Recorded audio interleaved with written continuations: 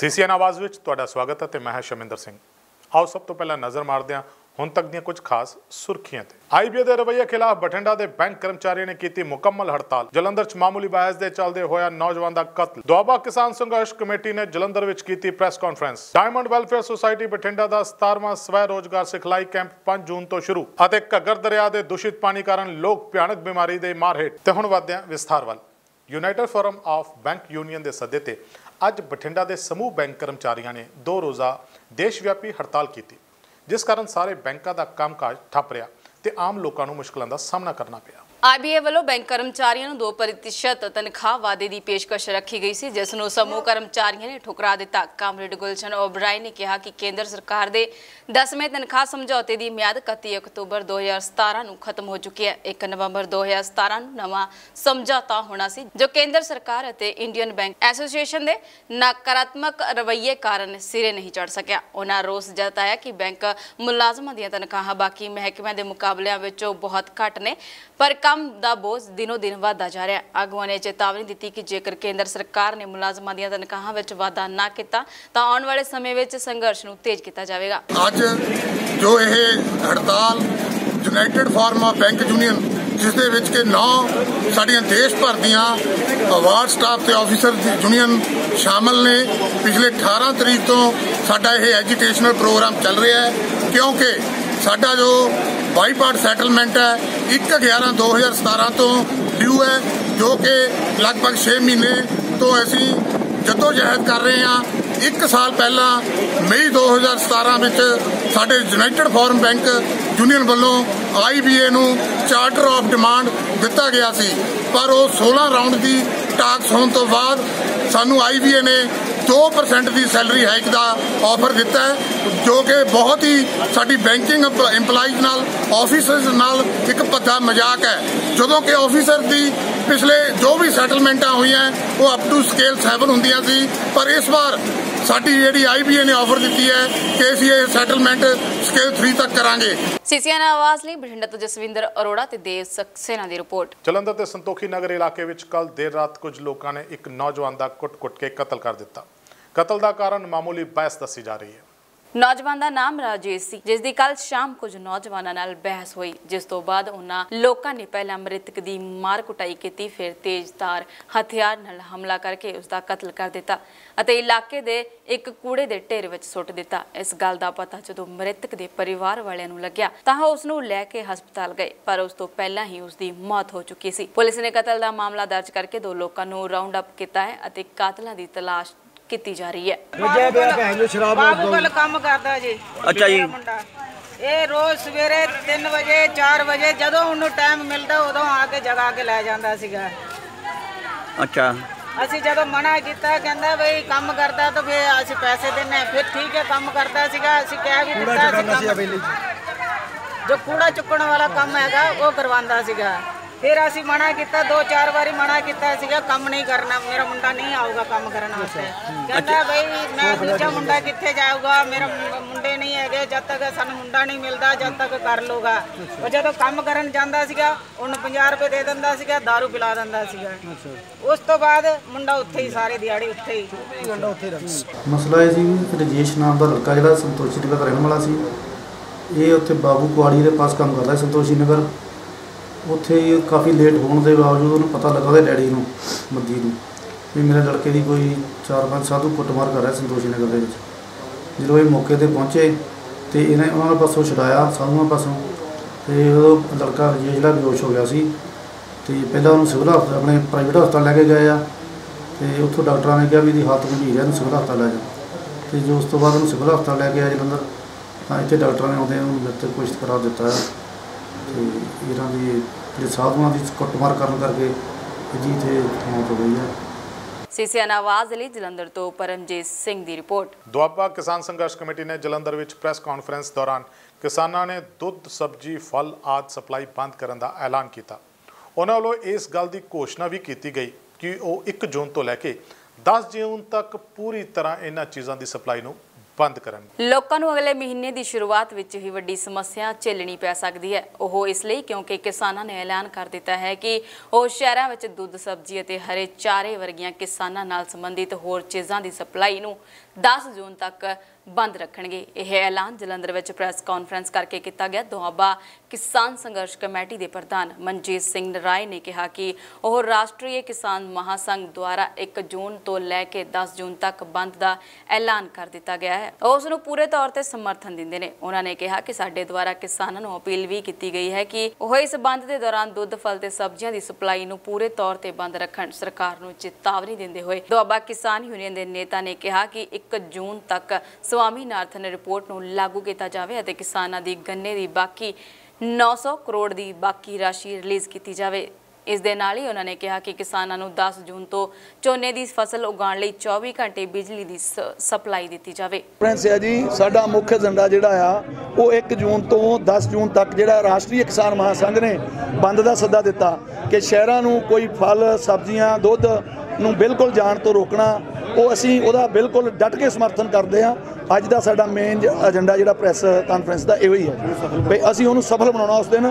ਅਸੀਂ ਸਾਰੇ ਕਿਸਾਨ ਵੀਰਾਂ ਨੂੰ ਪੁਰਜੋਰ ਪ੍ਰੇਰਿਤ ਵੀ ਕੀਤਾ ਔਰ ਅਪੀਲ ਵੀ ਕਰਦੇ ਆ ਕਿ ਉਸ ਦਿਨ ਜਿਹੜਾ 1 ਜੂਨ ਤੋਂ 10 ਜੂਨ ਤੱਕ ਕੋਈ ਵੀ ਕਿਸਾਨ ਵੀਰ ਨਾ ਕੋਈ ਫਲ, ਸਬਜ਼ੀ, ਦੁੱਧ ਸ਼ਹਿਰਾਂ ਨੂੰ ਲੈ ਕੇ ਬਿਲਕੁਲ ਨਾ ਜਾਣ। ਇਹ ਅਸੀਂ ਕਰ ਰਹੇ ਹਾਂ ਕਿ ਜਿਹੜੀ ਸਵਾਮੀਨਾਥਨ ਦੀ ਰਿਪੋਰਟ ਹੈ, ਸੈਂਟਰ ਸਰਕਾਰ ਨੇ ਕਿਹਾ ਸੀ ਵੀ ਸਵਾਮੀਨਾਥਨ ਦੀ ਰਿਪੋਰਟ ਜਿਹੜੀ ਇਨ ਵਿਨ ਲਾਗੂ ਕੀਤੀ ਜਾਊਗੀ।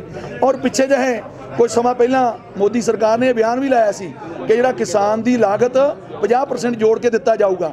ਪਰ ਉਹ ਦਿੱਤਾ ਨਹੀਂ ਗਿਆ, ਕਿਉਂਕਿ ਜਿਹੜੀ ਉਹਦੇ ਮੁਤਾਬਕ ਜੋ ਉਹਨਾਂ ਦੇ ਅੰਕੜੇ ਆ, ਸਾਡਾ ਤਾਂ ਅੰਕੜੇ ਬਹੁਤ ਉੱਪਰ ਜਾ ਰਹੇ ਆ, ਸਾਡਾ ਖਰਚਾ ਬਹੁਤ ਉੱਪਰ ਜਾ ਰਿਹਾ।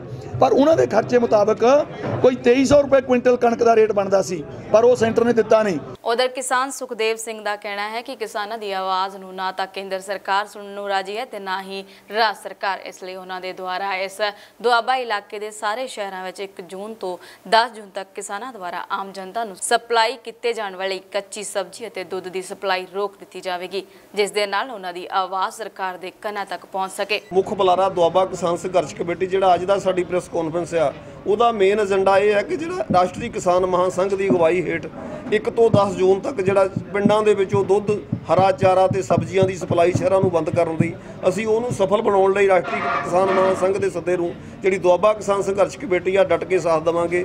ਉਹਨੂੰ ਸਫਲ ਬਣਾਉਣ ਲਈ ਦੁਆਬੇ ਦੇ ਚਾਰਾਂ ਜ਼ਿਲ੍ਹਿਆਂ ਵਿੱਚ ਕਿਸਾਨਾਂ ਨੂੰ ਲਾਮਬੰਦ ਕਰਕੇ ਸਿਰ ਤੋੜ ਯਤਨ ਕਰਾਂਗੇ ਜਿਹੜਾ ਕਿਸਾਨਾਂ ਦਾ ਇਹ ਸੰਘਰਸ਼ ਆ ਉਹ ਪੂਰਨ ਤੌਰ ਤੇ ਸਫਲ ਹੋਵੇ ਕਿ ਜਿਹੜੀ ਸਰਕਾਰਾਂ ਸਾਡੀ ਨਾ ਸਟੇਟ ਸਰਕਾਰ ਕੋਈ ਸੁਣਦੀ ਆ ਨਾ ਕੇਂਦਰ ਸਰਕਾਰ ਕਿਸਾਨਾਂ ਦੀ ਗੱਲ ਸੁਣਨ ਨੂੰ ਤਿਆਰ ਆ। ਅਸੀਂ ਕਿਸਾਨਾਂ ਦੀ ਆਵਾਜ਼ ਨੂੰ ਸਰਕਾਰਾਂ ਤੱਕ ਪਹੁੰਚਾਉਣ ਦਾ ਯਤਨ ਕਰਾਂਗੇ ਉਹਨੂੰ ਪੂਰਨ ਤੌਰ ਤੇ ਸਫਲ ਕਰਨ ਦਾ ਯਤਨ ਕਰਾਂਗੇ। ਸੀਸੀਐਨ ਆਵਾਜ਼ ਲਈ ਜਲੰਧਰ ਤੋਂ ਪਰਮਜੀਤ ਸਿੰਘ ਦੀ report. Diamond welfare society Bathinda ਵੱਲੋਂ ਪਿਛਲੇ 16 ਸਾਲਾਂ ਤੋਂ ਔਰਤਾਂ ਅਤੇ ਲੜਕੀਆਂ ਨੂੰ ਆਤਮ ਨਿਰਭਰ ਬਣਾਉਣ ਲਈ ਹਰ ਸਾਲ ਸਵੈ ਰੋਜ਼ਗਾਰ ਕੈਂਪ ਦਾ ਆਯੋਜਨ ਕੀਤਾ ਜਾਂਦਾ ਹੈ।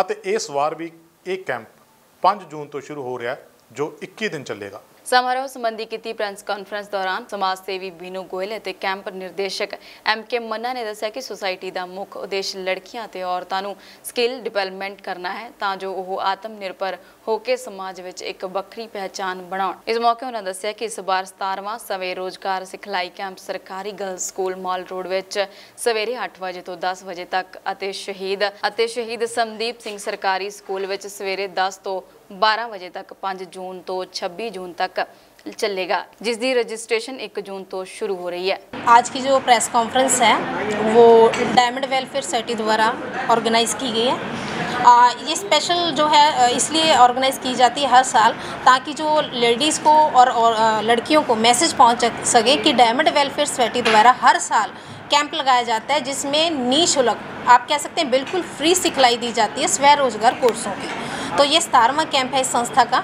जो कि गवर्नमेंट गर्ल्स स्कूल मार रोड और शहीद संदीप सिंह सरकारी स्कूल परशुराम नगर में लगाया जाएगा एक जून से रजिस्ट्रेशन इन्हीं दोनों स्कूलों में आठ से बारह का टाइम होगा रजिस्ट्रेशन शुरू हो जाएगी और जो कैंप का समय रहेगा पाँच तारीख से क्लासें शुरू होंगी मार रोड पे आठ से दस का टाइम रहेगा और परशुराम नगर स्कूल में जो संदीप सिंह सरकारी स्कूल है वहाँ पे जो टाइम है दस से बारह का रहेगा ਇਸ ਕੈਂਪ ਵਿੱਚ ਕੁੱਲ 65 ਕੋਰਸ ਕਰਵਾਏ ਜਾਣਗੇ ਜਿਸ ਵਿੱਚ ਬਿਊਟੀਸ਼ੀਅਨ ਮਹਿੰਦੀ ਛੇ ਤਰ੍ਹਾਂ ਦੀ ਪੇਂਟਿੰਗ ਸਿਖਲਾਈ ਕਢਾਈ ਅਤੇ ਇੰਗਲਿਸ਼ ਸਪੀਕਿੰਗ ਸਣੇ ਹੋਰ ਕੋਰਸ ਕਰਵਾਏ ਜਾਣਗੇ ਇਸ ਕੈਂਪ ਦੇ ਆਖਿਰ ਵਿੱਚ ਭਾਗ ਲੈਣ ਵਾਲੀਆਂ ਲੜਕੀਆਂ ਅਤੇ ਔਰਤਾਂ ਨੂੰ ਸਰਟੀਫਿਕੇਟ ਵੀ ਵੰਡੇ ਜਾਣਗੇ ਮੈਡਮ ਗੋਇਲ ਨੇ ਦੱਸਿਆ ਕਿ ਹੁਣ ਤੱਕ ਸੁਸਾਇਟੀ ਵੱਲੋਂ ਆਯੋਜਿਤ 16 ਕੈਂਪਾਂ ਵਿੱਚ ਕਰੀਬ 28000 ਔਰਤਾਂ ਤੇ ਲੜਕੀਆਂ ਭਾਗ ਲੈ ਕੇ ਹੁਨਰਮੰਦ ਹੋ ਚੁੱਕੀਆਂ ਹਨ ਜੋ ਕਿ ਹੁਣ ਇਸ ਸਿਖਲਾਈ ਰਾਹੀਂ ਕਮਾਈ ਕਰ ਰਹੀਆਂ ਹਨ इसमें कोर्स जो हैं वो ब्यूटिशियन का कोर्स है पेंटिंग के अलग अलग कोर्स हैं English speaking mini English speaking course है ब्यूटिशियन का कोर्स है मेहंदी का है और गिफ्ट पेकिंग्स है इंटीरियर डेकोरेशन है डिफरेंट कई कोर्स हैं जिनकी जो है मुफ़्त सिखलाई दी जाएगी। नहीं जी कोर्स की सिखलाई की कोई चार्जेस नहीं है, लेकिन थर्टी रुपये रजिस्ट्रेशन है जो बच्चों को एक फॉर्म फिल करना पड़ेगा, जिसमें हम बच्चों का पूरा रिकॉर्ड लेंगे। एक बार और बता देती हूँ कि एक बच्चा अपना जब रजिस्ट्रेशन कराता है, एक फ़ोटो लेके आए, एक फॉर्म के ऊपर पेस्ट करने के लिए। अगर कोई लड़की अनमेरिड है तो वो अपने पेरेंट्स से परमिशन लेटर भी लेके आएगी और इसके अलावा उनका कोई भी आईडी प्रूफ जिसमें रेजिडेंशियल प्रूफ हो तो उसमें सभा जो प्रूफ है वो साथ लगेंगे तो रजिस्ट्रेशन होगी और आफ्टर दैट ड्यूरिंग कैंप कोई भी किसी तरह की कैंप की ट्रेनिंग की कोई फीस नहीं ਸੀਸੀਐਨ ਆਵਾਜ਼ ਲਈ ਬਠਿੰਡਾ ਤੋਂ ਜਸਵਿੰਦਰ ਅਰੋੜਾ ਤੇ ਦੇਵ ਸਕਸੇਨਾ ਦੀ ਰਿਪੋਰਟ ਕਸਬਾ ਸਰਦੂਲਗੜ੍ਹ ਵਿੱਚੋਂ ਲੰਘਦੇ ਘੱਗਰ ਦਰਿਆ ਤੇ ਗੰਦੇ ਪਾਣੀ ਕਾਰਨ ਇਨ੍ਹਾਂ ਪਿੰਡਾਂ ਦੇ ਲੋਕਾਂ ਨੂੰ ਗੰਭੀਰ ਬਿਮਾਰੀਆਂ ਆਪਣੀ ਗ੍ਰਿਫਤ ਵਿੱਚ ਜਕੜ ਲਿਆ ਹੈ ਘੱਗਰ ਦੇ ਕੰਢੇ ਤੇ ਵਸੇ ਦਰਜਨਾ ਪਿੰਡ ਕਈ ਦਹਾਕਿਆਂ ਤੋਂ ਬਿਨਾਂ ਕਸੂਰੋਂ ਕਾਲੇ ਪਾਣੀ ਦੀ ਸਜ਼ਾ ਭੁਗਤ ਰਹੇ ਹਨ ਹਿਮਾਚਲ ਰਾਜ ਦੇ ਇਲਾਕੇ ਸਿਰਮੌਰ ਦੀਆਂ ਪਹਾੜੀਆਂ ਵਿੱਚੋਂ ਨਿਕਲਦਾ ਘੱਗਰ ਦਰਿਆ ਇਸ ਲਾਗੇ ਬਸਣ ਵਾਲੇ ਪਿੰਡਾਂ ਤੇ ਸ਼ਹਿਰਾਂ ਦੇ ਲੋਕਾਂ ਲਈ ਵਰਦਾਰ ਹੁੰਦਾ ਸੀ। ਪਰ ਫੈਕਟਰੀਆਂ ਵਿੱਚ ਇਸ ਵਿੱਚ ਡਿੱਗਦੇ ਜ਼ਹਿਰੀਲੇ ਪਦਾਰਥਾਂ ਅਤੇ ਸ਼ਹਿਰਾਂ ਦੇ ਸੀਵਰੇਜ ਦੇ ਹੋਰ ਗੰਦਗੀ ਨੇ ਇਸ ਦਰਿਆ ਨੂੰ ਗੰਦਲਾ ਬਣਾ ਕੇ ਰੱਖ ਦਿੱਤਾ ਜਿਸ ਨਾਲ ਇਹ ਵਰਦਾਨ ਬਣਿਆ ਦਰਿਆ ਹੁਣ ਸ਼ਰਾਬ ਬਣ ਚੁੱਕਿਆ ਹੈ। ਪੁਰਾਣੇ ਸਮਿਆਂ ਦੀ ਯਾਦ ਤਾਜ਼ਾ ਕਰਦਿਆਂ ਸਰਦੂਲਗੜ ਨਿਵਾਸੀ ਬਜ਼ੁਰਗ ਮਲਕੀਤ ਸਿੰਘ ਨੇ ਦੱਸਿਆ ਕਿ ਕੁਝ ਸਾਲ ਪਹਿਲਾਂ ਤਾਂ ਘੱਗਰ ਦਰਿਆ ਦਾ ਪਾਣੀ ਸਾਫ਼ ਸੁਥਰਾ ਸੀ। ਇਸ ਪਾਣੀ ਨੂੰ ਪੀਣ, ਸਬਜ਼ੀਆਂ ਬਣਾਉਣ ਤੇ ਕੱਪੜੇ ਧੋਣ ਲਈ ਵਰਤਦੇ ਸੀ। ਉਹਨਾਂ ਨੇ ਦੱਸਿਆ ਕਿ ਹੁਣ ਘੱਗਰ ਵਿੱਚ ਕਾਲਾ ਤੇ ਦੂਸ਼ਿਤ ਪਾਣੀ ਵਗਦਾ ਹੈ, ਜੋ ਲੋਕਾਂ ਲਈ ਸ਼ਰਾਬ ਬਣ ਚੁੱਕਿਆ ਹੈ। ਘੱਗਰ ਵਾਲੇ ਇਦੋਂ ਪਹਿਲਾਂ 20 22 ਸਾਲਾਂ ਤੋਂ ਪਹਿਲਾਂ ਸਾਫ਼ ਪਾਣੀ, ਜਮਾਂ ਬਿਲਕੁਲ ਸਾਫ਼ ਪਾਣੀ ਸੀਗਾ। ਅਸੀਂ ਪੀਂਦੇ ਸੀ, ਚਾਹ ਬਣਾਉਂਦੇ ਸੀਗੇ, ਬੁਣੀਆਂ ਕੱਪੜੇ ਧੋਂਦੇ ਸੀ ਬਹੁਤ ਸਾਫ਼ ਸੀ। ਹੁਣ ਇੰਨਾ ਗੰਦਾ ਪਾਣੀ ਹੈ, ਪਸ਼ੂ ਬਹੁਤ ਤੰਗ ਨੇ ਬੰਦੇ ਬਹੁਤ ਤੰਗ ਨੇ ਕਾਲਾ ਪੀਲੀਆ ਹੋ ਹੋਣ ਦਾ ਡਰ ਹੈ। ਇਹ 18 20 ਪਿੰਡ ਨੇ ਜਿਹੜੇ ਅੱਗੇ ਹੋਏ ਨੇ। ਇਲਾਕੇ ਦੇ ਲੋਕਾਂ ਦੀ ਲਾਈਫਲਾਈਨ ਵਜੋਂ ਸਮਝਿਆ ਜਾਣ ਵਾਲੇ ਘੱਗਰ ਦਰਿਆ ਦਾ ਪਾਣੀ ਗੁਰੂ ਘਰਾਂ ਵਿੱਚ ਪ੍ਰਸ਼ਾਦ ਆਦਿ ਤਿਆਰ ਕਰਨ ਵਿੱਚ ਇਸਤੇਮਾਲ ਕੀਤਾ ਜਾਂਦਾ ਸੀ। ਬੇਕਰ ਸਿੰਘ ਸਾਧੂ ਵਾਲਾ ਪ੍ਰਦੀਪ ਕੁਮਾਰ ਨੇ ਦੱਸਿਆ ਕਿ ਪੰਜਾਬ ਦੇ 21 ਸ਼ਹਿਰਾਂ ਤੇ ਹਰਿਆਣਾ ਦੇ 20 ਸ਼ਹਿਰਾਂ ਦਾ ਗੰਦਾ ਪਾਣੀ ਇਸ ਵਿੱਚ ਛੱਡਿਆ ਜਾ ਰਿਹਾ ਹੈ, ਜਿਸ ਕਾਰਨ ਇਸ ਦੀ ਹਾਲਤ ਬਹੁਤ ਮਾੜੀ ਹੋ ਚੁੱਕੀ ਹੈ। ਉਹਨਾਂ ਕਿਹਾ ਕਿ ਇਸ ਦੇ ਕੰਢੇ ਵਸਦੇ ਕੁਝ ਸ਼ਹਿਰਾਂ ਵਿੱਚ ਸੀਵਰੇਜ ਟ੍ਰੀਟਮੈਂਟ ਪਲਾਂਟ ਲਗਾਏ ਗਏ ਹਨ, ਪਰ ਇਹ ਟ੍ਰੀਟਮੈਂਟ ਪਲਾਂਟ ਬੰਦ ਹੋਣ ਕਾਰਨ ਗੰਦਾ ਪਾਣੀ ਵੀ ਘੱਗਰ ਵਿੱਚ ਸੁੱਟਿਆ ਜਾ ਰਿਹਾ ਹੈ। ਘੱਗਰ ਦਰਿਆ ਕਿਨਾਰੇ ਵਸੇ। 19 ਪਿੰਡਾਂ ਦੇ ਲੋਕ ਘੱਗਰ ਵਿੱਚ ਵਹਿੰਦੇ ਜ਼ਹਿਰੀਲੇ ਤੇ ਬਦਬੂਦਾਰ ਪਾਣੀ ਤੋਂ ਪਰੇਸ਼ਾਨ ਹਨ। ਉਹਨਾਂ ਸਰਕਾਰ ਤੇ ਪ੍ਰਸ਼ਾਸਨ ਤੋਂ ਮੰਗ ਕੀਤੀ ਕਿ ਘੱਗਰ ਦਾ ਕੋਈ ਸਥਾਈ ਹੱਲ ਕੀਤਾ ਜਾਵੇ ਤਾਂ ਜੋ ਲੋਕ ਭਿਆਨਕ ਬਿਮਾਰੀਆਂ ਤੋਂ ਬਚ ਸਕਣ। ਇਹ ਜਿਹੜਾ ਘੱਗਰ ਦਰਿਆ ਜੀ, ਜੋ ਸਾਡੇ ਇਲਾਕੇ ਦੀ ਲਾਈਫ ਲਾਈਨ ਦੇ ਤੌਰ ਤੇ ਜਾਣਿਆ ਜਾਂਦਾ ਸੀ, ਮੇਰਾ ਪਿੰਡ ਇੱਥੋਂ ਨਾਲ ਹੀ 2 ਕਿਲੋਮੀਟਰ ਦੇ ਸਾਧੂ ਵਾਲਾ ਪਿੰਡ ਹੈ ਜੀ।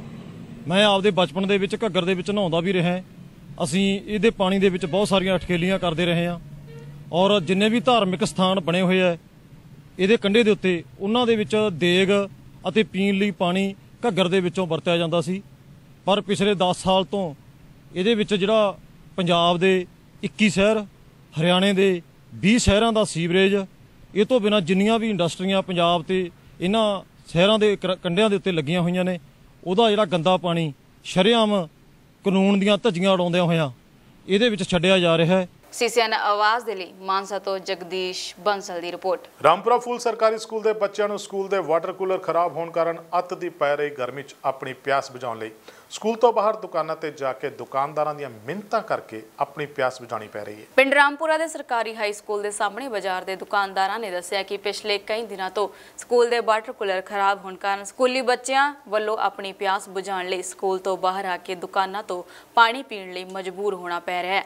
ਉਹਨਾਂ ਕਿਹਾ ਕਿ ਹੱਥ ਦੀ ਪੈ ਰਹੀ ਗਰਮੀ ਕਾਰਨ ਬੇਸ਼ੱਕ ਉਹਨਾਂ ਨੂੰ ਵੀ ਠੰਡੇ ਪਾਣੀ ਦੀ ਦਿੱਕਤ ਰਹਿੰਦੀ ਹੈ, ਪਰ ਨੰਨੇ ਮੁੰਨੇ ਬੱਚਿਆਂ ਦੀ ਹਾਲਤ ਦੇਖ ਕੇ ਤਰਸ ਉਹਨਾਂ ਨੂੰ ਦੁਕਾਨਾਂ ਵਿੱਚੋਂ ਪਾਣੀ ਪਿਲਾਇਆ ਜਾ ਰਿਹਾ ਹੈ। ਪਰ ਇਸ ਨਾਲ ਕੁਝ ਬੱਚਿਆਂ ਦੀ ਪਿਆਸ ਤਾਂ ਬੁਝ ਰਹੀ ਹੈ, ਪਰ ਜ਼ਿਆਦਾਤਰ ਬੱਚੇ ਅੱਜ ਵੀ ਪਾਣੀ ਤੋਂ ਪਿਆਸੇ ਰਹਿ ਰਹੇ ਨੇ। ਉਹਨਾਂ ਪੰਜਾਬ ਸਰਕਾਰ ਤੋਂ ਮੰਗ ਕੀਤੀ ਕਿ ਸਕੂਲ ਦੇ ਅੰਦਰ ਲੱਗੇ ਵਾਟਰ ਕੂਲਰਾਂ ਨੂੰ ਜਲਦ ਤੋਂ ਜਲਦ ਠੀਕ ਕਰਵਾਇਆ ਜਾਵੇ ਜਾਂ ਫਿਰ ਬੱਚਿਆਂ ਦੇ ਪੀਣ ਵਾਲੇ ਸਾਫ਼ ਪਾਣੀ ਦਾ ਪ੍ਰਬੰਧ ਕੀਤਾ ਜਾਵੇ। ਪਾਣੀ ਪੀਣ ਦੇ ਪ੍ਰਬੰਧ ਜਿਹੜਾ ਪ੍ਰਬੰਧ ਪਾਣੀ ਦੇ ਪੀਣ ਦਾ ਪ੍ਰਬੰਧ ਕੀਤਾ ਜਾਵੇ, ਇੱਥੇ ਆਪਣੇ ਵਾਟਰ ਕੂਲਰ ਲਵਾਏ ਜਾਣ, ਕਈ ਤਰ੍ਹਾਂ ਠੀਕ ਦੂ ਕਰਾਏ ਜਾਣ, ਜੋ ਪਾਣੀ ਦੇ ਬੱਚਿਆਂ ਦੀ ਜਿਹੜੀ ਪਿਆਸ ਆ, ਉਹ ਬੁੱਝ ਸਕੇ ਜਦੋਂ ਇਸ ਸੰਬੰਧੀ ਸਕੂਲ ਦੇ ਪ੍ਰਿੰਸੀਪਲ ਸੰਜੀਵ ਕੁਮਾਰ ਨਾਲ ਗੱਲਬਾਤ ਕੀਤੀ ਗਈ ਤਾਂ ਉਹਨਾਂ ਨੇ ਕਿਹਾ ਕਿ ਸਕੂਲ ਵਿੱਚ ਸਟਾਫ ਵੱਲੋਂ ਮਿਲ ਕੇ 2 ਸਾਲ ਪਹਿਲਾਂ ਵਾਟਰ ਕੂਲਰ ਲਗਵਾਇਆ ਗਿਆ ਸੀ। ਪਰ ਸਕੂਲ ਵਿੱਚ 850 ਬੱਚੇ ਤੇ ਕਰੀਬ 50 ਸਟਾਫ ਮੈਂਬਰ ਹਨ, ਜਿਸ ਕਰਕੇ ਵਾਟਰ ਕੂਲਰ ਤੇ ਲੋਡ ਜ਼ਿਆਦਾ ਪੈ ਰਿਹਾ ਸੀ। ਜਿਸ ਕਾਰਨ ਇਹ ਕਰੀਬ 3 ਮਹੀਨੇ ਪਹਿਲਾਂ ਖਰਾਬ ਹੋ ਗਿਆ ਸੀ, ਪਰ ਕਈ ਵਾਰ ਪਹਿਲਾਂ ਵੀ ਇਸ ਦੀ ਮੁਰੰਮਤ ਕਰਵਾਉਣ ਕਾਰਨ ਇਹ ਖਸਤਾ ਹਾਲਤ ਹੋ ਚੁੱਕਾ ਹੈ। ਉਹਨਾਂ ਕਿਹਾ ਕਿ ਸਕੂਲ ਦੇ ਅੰਦਰ 4 ਵਾਟਰ ਕੂਲਰ ਦੀ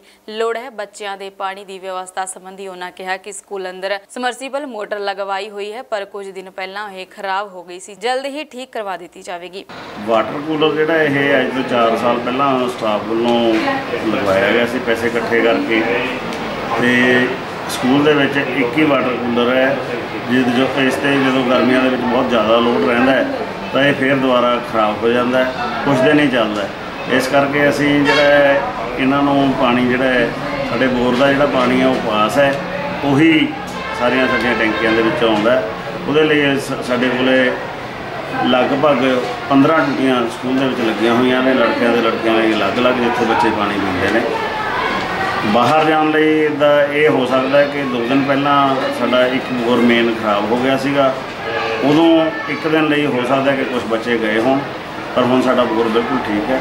ਤੇ ਬੱਚੇ ਉੱਥੋਂ ਹੀ ਪਾਣੀ ਸੀਸੀਐਨ ਆਵਾਜ਼ ਦੇ ਲਈ ਰਾਮਪੁਰਾ ਤੋਂ ਰਜਨੀਸ਼ ਕਰਕਰਾ ਦੀ ਰਿਪੋਰਟ। ਬੀਤੇ ਦਿਨੀ ਫਾਜ਼ਿਲਕਾ ਦੇ ਪਿੰਡ ਬਾਗੇਵਾਲਾ ਵਿਖੇ ਬੰਸੀ ਲਾਲ ਵੱਲੋਂ ਫਾਹਾ ਲੈ ਕੇ ਆਤਮ ਹੱਤਿਆ ਕਰ ਲਈ ਗਈ ਸੀ। ਜਿਸ ਤੋਂ ਬਾਅਦ ਕਥਿਤ ਦੋਸ਼ੀਆਂ ਦੀ ਗ੍ਰਿਫਤਾਰੀ ਦੀ ਮੰਗ ਨੂੰ ਲੈ ਕੇ ਵਾਰਸਾਂ ਨੇ ਤੀਜੇ ਦਿਨ ਉਸ ਦੀ ਅੰਤਿਮ ਸੰਸਕਾਰ ਨਹੀਂ ਕੀਤਾ। ਪੁਲਿਸ ਨੇ ਉਸ ਦੇ ਘਰ ਦੇ ਆਸ-ਪਾਸ ਘੇਰਾਬੰਦੀ ਕਰਕੇ ਲਾਸ਼ ਨੂੰ ਸ਼ਹਿਰ ਵਿੱਚ ਲਿਆਉਣ ਤੋਂ ਰੋਕਾਂ ਲਗਾ ਦਿੱਤੀਆਂ ਹਨ। ਬੀਤੇ ਦਿਨੀ ਪਿੰਡ ਬਾਗੇਵਾਲਾ ਦੇ ਰਾਜ ਮਿਸਤਰੀ ਬੰਸੀ ਲਾਲ ਨੇ ਆਪਣੇ ਘਰ ਵਿੱਚ ਫਾਹਾ ਲੈ ਲਿਆ ਸੀ ਅਤੇ ਖੁਦਕੁਸ਼ੀ ਪੱਤਰ ਵਿੱਚ ਆਪਣੀ ਮੌਤ ਲਈ ਉਸਨੇ ਪਿੰਡ ਦੇ ਕੁਝ ਲੋਕਾਂ ਨੂੰ ਦੋਸ਼ੀ ਠਹਿਰਾਇਆ ਸੀ। ਭਾਵੇਂ ਪੁਲਿਸ ਨੇ ਮ੍ਰਿਤਕ ਦੇ ਰਿਸ਼ਤੇਦਾਰਾਂ ਤੇ ਬਿਆਨਾਂ ਦੇ ਉਕਤ ਲੋਕਾਂ ਤੇ ਮਾਮਲਾ ਦਰਜ ਕਰ ਲਿਆ, ਪਰ ਮ੍ਰਿਤਕ ਦੇ ਰਿਸ਼ਤੇਦਾਰ ਕਥਿਤ ਦੋਸ਼ੀਆਂ ਦੀ ਗ੍ਰਿਫਤਾਰੀ ਨੂੰ ਲੈ ਕੇ ਲਾਸ਼ ਲੈ ਕੇ ਐਸਐਸਪੀ ਦਫ਼ਤਰ ਪੁੱਜੇ ਸਨ। ਦਫ਼ਤਰ ਵਿੱਚ ਕਿਸੇ ਦੇ ਮੌਜੂਦ ਨਾ ਹੋਣ, ਉਹਨਾਂ ਦੇ ਰੀਡਰ ਨੇ ਸੋਮਵਾਰ ਦਾ ਸਮਾਂ ਉਹਨਾਂ ਦੇ ਵਾਰਸਾਂ ਨੂੰ ਦਿੱਤਾ ਸੀ, ਮੁਲਾਕਾਤ ਦਾ ਦਿੱਤਾ ਸੀ। ਸੋਮਵਾਰ ਨੂੰ ਜਦੋਂ ਮ੍ਰਿਤਕ ਦੇ ਵਾਰਸ ਲਾਸ਼ ਨੂੰ ਸ਼ਹਿਰ ਧਰਨੇ ਵਿੱਚ ਵਾਸਤੇ ਲੈ ਕੇ ਆਉਣ ਲੱਗੇ ਤਾਂ ਭਾਰੀ ਗਿਣਤੀ ਵਿੱਚ ਪੁਲਿਸ ਬਾਗੇਵਾਲਾ ਵਿੱਚ ਪੁੱਜ ਗਈ ਤੇ ਉਹਨਾਂ ਪੁਲਿਸ ਨੂੰ ਪੁਲਿਸ ਛਾਉਣੀ ਵਿੱਚ ਤਬਦੀਲ ਕਰ ਦਿੱਤਾ। ਮ੍ਰਿਤਕ ਦੇ ਛੋਟੇ-ਛੋਟੇ ਬੱਚਿਆਂ ਤੇ ਪਰਿਵਾਰਕ ਮੈਂਬਰਾਂ ਨੇ ਰੋਂਦੇ ਕੁਰਲਾਉਂਦੇ ਦੱਸਿਆ ਕਿ ਗੋਰਾ ਸਿੰਘ ਜਿੱਥੇ ਵੀ ਮੇਰੇ ਪਿਤਾ ਨੂੰ ਮਿਲਦਾ ਤਾਂ ਉਹ ਮੇਰੇ ਪਿਤਾ ਨੂੰ ਅਕਸਰ ਹੀ ਦਿਮਾਗੀ ਤੌਰ ਤੇ ਪਰੇਸ਼ਾਨ ਕਰਦਾ ਸੀ, ਜਿਸ ਤੋਂ ਤੰਗ ਆ ਕੇ ਮੇਰੇ ਪਿਤਾ ਨੇ ਸ਼ਨੀਵਾਰ ਦੁਪਹਿਰ ਨੂੰ ਘਰ ਵਿੱਚ ਹੀ ਫਾਹਾ ਲੈ ਲਿਆ। ਨੰਨੇ ਬੱਚਿਆਂ ਨੇ ਵੀ ਕਿਹਾ ਕਿ ਜਦੋਂ ਤੱਕ ਸਾਡੇ ਪਿਤਾ ਦੀ ਮੌਤ ਦੇ ਦੋਸ਼ੀਆਂ ਨੂੰ ਪੁਲਿਸ ਗ੍ਰਿਫਤ ਵਿੱਚ ਨਹੀਂ ਲਵੇਗੀ, ਅਸੀਂ ਉਦੋਂ ਤੱਕ ਸੰਸਕਾਰ ਨਹੀਂ ਕਰਾਂਗੇ। ਡੈਡੀ ਨੇ ਜੀ, ਫਾਂਸੀ ਲੈ ਲਈ ਜੀ, ਉਹ ਜੀ ਸਾਡੇ ਜੀ ਘਰੇ ਆਇਆ ਜੀ ਜਗਰਾਤਾ ਲੱਗਾ ਸੀ ਜੀ ਬਾਹਰ 'ਚ ਜੀ ਘਰੇ ਆਇਆ ਤੇ ਜੀ ਉਧਰੋਂ ਜੀ ਮੇਰਾ ਡੈਡੀ ਆ ਗਿਆ। ਤੇ ਜੀ ਜੀ ਉਹਨੇ ਉਹ ਜੀ ਉਹਨੂੰ ਕੁੱਟਿਆ, ਮਾਰਿਆ ਤੇ ਜੀ ਉਹ ਕੰਧ ਟੱਪ ਗਿਆ। ਜੀ ਬਾਅਦ ਚੋਂ ਜੀ ਘਰੇ ਜੀ ਲੜਾਈ ਪੈਂਦੀ ਰਹੀ। ਜੀ 2 ਮਹੀਨੇ ਹੋ ਗਏ। ਤੇ ਜੀ ਉਹ ਜੀ ਆਨੇ ਕੱਢਦਾ ਸੀ ਵੇਖ ਵੇਖ ਕੇ। ਜੀ ਜੀ ਉਹ ਜੀ ਮੁੱਠ ਜੀ ਮੁੱਛਾਂ ਨੂੰ ਵੱਟ ਚੜਾਉਂਦਾ ਸੀਗਾ ਵੇਖ ਕੇ ਜੀ ਧਮਕੀਆਂ ਦਿੰਦਾ ਸੀਗਾ ਮੈਂ ਤੈਨੂੰ ਮਾਰ ਦੂੰਗਾ। ਜੋ ਕੁਝ ਗੋਰਾ ਨਾਮ ਦਾ ਜੋ ਬੰਦਾ ਸੀ। ਉਹ ਮੇਰੇ ਡੈਡੀ ਨੂੰ ਨਾ ਜਾਣੇ ਕੱਢਦਾ ਸੀ। ਜੀ ਉਸੇ ਕਾਰਨ ਮੇਰੇ ਡੈਡੀ ਨੇ ਫਾਵਰ ਲੈ ਲਿਆ। ਜੀ ਜਿੰਨੇ ਚੱਕਰ ਗੋਰਾ ਨੂੰ ਮਿਲਦਾ ਉਹਨੇ ਚੱਕਰ ਸੇ ਸੰਸਕਾਰ ਨਹੀਂ ਕਰਦੇ। ਬੇਇਨਸਾਫ। ਉੱਥੇ ਹੀ ਮੌਕੇ ਤੇ ਪੁੱਜੇ ਐਸਐਸਪੀ ਅਬੋਹਰ ਨੇ ਦੱਸਿਆ ਕਿ ਪੁਲਿਸ ਵੱਲੋਂ ਬਣਦੀ ਕਾਰਵਾਈ ਕੀਤੀ ਗਈ ਹੈ ਅਤੇ ਦੋਸ਼ੀਆਂ ਵਿੱਚੋਂ ਦੋ ਔਰਤਾਂ ਨੂੰ ਕਾਬੂ ਕਰ ਲਿਆ ਗਿਆ ਅਤੇ ਮੁੱਖ ਦੋਸ਼ੀ ਨੂੰ ਜਲਦ ਕਾਬੂ ਵਿੱਚ ਲੈ ਲਿਆ ਜਾਵੇਗਾ। ਇਹ ਲੜਕਾ ਕਿਸੇ ਦੇ ਦੁਖੀ ਹੋ ਕੇ ਉਹਨੇ ਆਤਮ ਹੱਤਿਆ ਕਰ ਲਈ ਜੀ ਤੇ ਪਰਚਾ ਥਾਣਾ ਅਰਨੀ ਵਾਲਾ ਦਰਜ ਹੋ ਚੁੱਕਾ ਜਿਹੜੇ ਸੁਸਾਈਡ ਨੋਟ ਵਿੱਚ ਬੰਦੇ ਆਏ ਦੋ ਲੇਡੀਜ਼ ਔਰ ਇੱਕ ਦੋ ਬੰਦੇ। ਉਹ ਅਸੀਂ ਰਾਉਂਡ ਅਪ ਕਰ ਲਿਆ। ਇੱਕ ਮੁਰਜਮ ਜਿਹੜਾ ਮੇਨ ਆ ਉਹ 'ਚ ਉਹ ਹਜੇ ਭਗੌੜਾ ਹੈ। ਇਹਨਾਂ ਲੋਕਾਂ ਦਾ ਜਿਹੜੇ ਮਰਨ ਵਾਲੇ ਆ ਪਰਿਵਾਰ ਦਾ ਇਹ ਸੀ ਵੀ ਉਹ ਬੰਦੇ ਨੂੰ ਫੜਿਆ ਜਾਵੇ ਤੇ ਅਸੀਂ ਸੰਸਕਾਰ ਫੇਰ ਕਰਾਂਗੇ। ਪਰ ਲੇਕਿਨ ਉਹਨਾਂ ਨੂੰ ਅਸੀਂ ਸਾਰਾ ਕਨਵਿੰਸ ਕਰਾਇਆ ਵਿਸ਼ਵਾਸ ਦਵਾਇਆ ਵੀ ਜਿਹੜਾ ਪੁਲਿਸ ਦਾ ਕੰਮ ਚੱਲਦਾ ਰਹੇਗਾ ਉਹਨੂੰ ਹਰ ਹਾਲਤ 'ਚ ਗ੍ਰਿਫਤਾਰ ਕੀਤਾ ਜਾਊਗਾ। ਕੋਈ ਉਹਦੇ ਨਾਲ ਅਹ, ਢਿੱਲ ਨਹੀਂ ਵਰਤੀ ਜਾਊਗੀ ਕਾਨੂੰਨ ਦੇ ਦਾਇਰੇ ਵਿੱਚ ਖੜਾ ਕੀਤਾ ਜਾਊਗਾ। ਤੇ ਜਿਹੜੀ ਕਾਨੂੰਨੀ ਕਾਰਵਾਈ ਉਹ ਸਾਡੀ ਜਾਰੀ ਰਹੂਗੀ। ਕ- ਜਿਹਨੇ ਜੁਰਮ ਕੀਤਾ ਉਹਦੇ ਨਾਲ ਕੋਈ ਲਿਹਾਜ਼ ਨਹੀਂ। ਔਰ ਨਾ ਹੀ ਪੁਲਿਸ ਉਹਦੇ ਵਿੱਚ ਕੋਈ ਰਿਆਇਤ ਕਰੇਗੀ।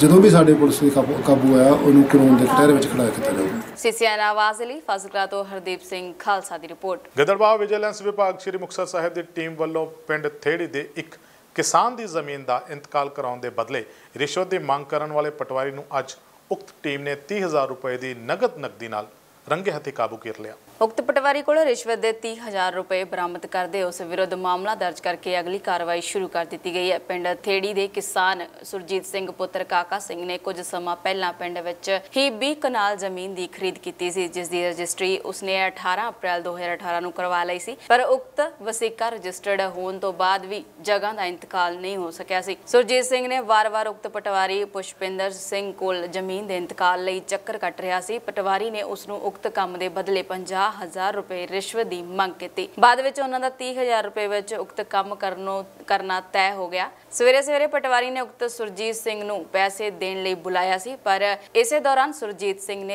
ਇਸ ਸੰਬੰਧੀ ਵਿਜੀਲੈਂਸ ਵਿਭਾਗ ਨੂੰ ਸੂਚਨਾ ਦੇ ਦਿੱਤੀ ਸੀ ਅਤੇ ਖੁਦ ਸਥਾਨਕ ਹੁਸਨਰ ਚੌਂਕ ਵਿਖੇ ਕੋਰਟ ਕੰਪਲੈਕਸ ਦੇ ਨੇੜੇ ਸਥਿਤ ਕਰਨੈਲ ਦੇ ਢਾਬੇ ਤੇ ਪਟਵਾਰੀ ਨੂੰ ਪੈਸੇ ਦੇਣ ਲਈ ਬੁਲਾ ਲਿਆ। ਜਿਵੇਂ ਹੀ ਉਕਤ ਪਟਵਾਰੀ ਨੇ ਪੈਸੇ ਫੜੇ ਤਾਂ ਵਿਜੀਲੈਂਸ ਦੀ ਟੀਮ ਨੇ ਤੁਰੰਤ ਛਾਪੇਮਾਰੀ ਕਰ ਦਿੱਤੀ। ਇਸ ਸੰਬੰਧੀ ਵਿਜੀਲੈਂਸ ਦੇ ਇੰਸਪੈਕਟਰ ਸਤਪ੍ਰੇਮ ਸਿੰਘ ਨੇ ਦੱਸਿਆ ਕਿ ਉਹਨਾਂ ਵੱਲੋਂ ਸਰਕਾਰੀ ਗਵਾਹ ਜਲ ਸਪਲਾਈ ਅਤੇ ਸੈਨੀਟੇਸ਼ਨ ਵਿਭਾਗ ਦੇ ਐਸਡੀਓ ਸੁਰਮੁਖ ਸਿੰਘ ਅਤੇ ਪੰਚਾਇਤੀ ਰਾਜ ਦੇ ਅਧਿਕਾਰੀ ਗੁਰਮੇਲ ਸਿੰਘ ਦੀ ਮੌਜੂਦਗੀ ਵਿੱਚ ਇਹ ਸਾਰੀ ਕਾਰਵਾਈ ਕੀਤੀ ਗਈ ਹੈ। ਸੁਰਜੀਤ ਸਿੰਘ ਸਨ of ਕਾਕਾ ਸਿੰਘ ਥੇੜੀ ਪਿੰਡ ਦਾ। ਉਹਨਾਂ ਦੇ ਕੋਈ ਜ਼ਮੀਨ ਦਾ ਇੰਤਕਾਲ ਸੀਗਾ ਇਹਨੇ ਕਰਨਾ। ਉਹ ਜ਼ਮੀਨ ਦਾ ਇੰਤਕਾਲ ਕਰਨ ਵਾਲੇ ਤੇ 50000 ਰੁਪਏ ਦੀ ਮੰਗ ਕੀਤੀ ਸੀ ਤੇ 30000 ਰੁਪਏ ਤੇ ਸੌਦਾ ਤੈਅ ਹੋਇਆ ਸੀ। 30000 ਰੁਪਏ ਰਿਸ਼ਵਤ ਲੈਂਦੇ ਨੇ, ਉਹਨੂੰ ਰੰਗੇ ਹੱਥੀ ਸਰਕਾਰੀ ਗਵਾਹਾਂ ਦੀ ਹਾਜ਼ਰੀ 'ਚ ਗ੍ਰਿਫਤਾਰ ਕੀਤਾ। ਸੀਸੀਐਨ ਆਵਾਜ਼ ਲਈ ਸ਼੍ਰੀ ਮੁਕਤਸਰ ਸਾਹਿਬ ਤੋਂ ਤਰਸੀਮ ਟੂਡੀ ਦੀ ਰਿਪੋਰਟ। ਲੁਧਿਆਣਾ ਪੁਲਿਸ ਨੇ ਫੈਕਟਰੀਆਂ ਤੋਂ ਧਾਗਾ ਲੁੱਟਣ ਵਾਲੇ ਗਿਰੋਹ ਦੇ 7 ਮੈਂਬਰਾਂ ਨੂੰ ਕਾਬੂ ਕਰਕੇ ਉਹਨਾਂ ਦੇ ਕਬਜ਼ੇ ਵਿੱਚੋਂ ਕਰੀਬ 3000 ਕਿਲੋ ਧਾਗਾ ਬਰਾਮਦ ਕੀਤਾ ਹੈ। ਆਰੋਪੀਆਂ ਕੋਲੋਂ ਤੇਜ਼ ਧਾਰ ਹਥਿਆਰ ਬਰਾਮਦ ਕੀਤੇ ਗਏ ਨੇ।